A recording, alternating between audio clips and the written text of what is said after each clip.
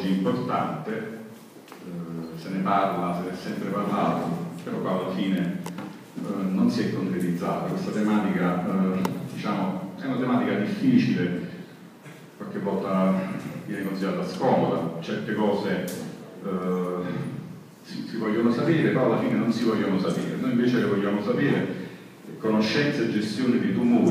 dati del registro tumori dell'ASL Napoli 3 Sud, focus sulla penisola sorrentina. Di questo è quello di, quello di cui parleremo oggi e io devo ringraziare per questo la dottoressa Costantini, Antonietta Costantini, che è il nuovo direttore generale dell'ASL Napoli 3 Sud, che ringrazio della sua sensibilità e della sua presenza eh, qui nonostante eh, altri impegni istituzionali, quindi veramente la ringrazio di cuore perché ci fa capire la, la, la presenza dell'importanza dell che lei dà a questa tematica e alla penisola sorrentina, quindi è un dato questo importante che volevo sottolineare. Ringrazio il collega